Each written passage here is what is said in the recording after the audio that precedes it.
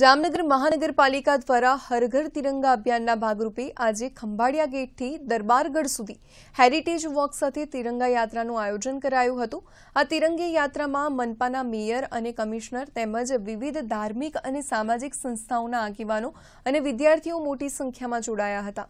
આ હેરિટેજ વોકની શરૂઆત શહેરના પ્રથમ નાગરિક મેયર બીનાબેન કોઠારીએ કરાવ્યું. ખંભાળિયા ગેટથી પ્રસ્થાન કરાવ્યું. દરબારગઢના સર્કલ ખાતે અધિકારીઓ, પદાધિકારીઓ અને શાળાના બાળકો દ્વારા રાષ્ટ્રગાન બાદ તિરંગા યાત્રા સાથે હેરિટેજ વોક પૂર્ણ થઈ હતી.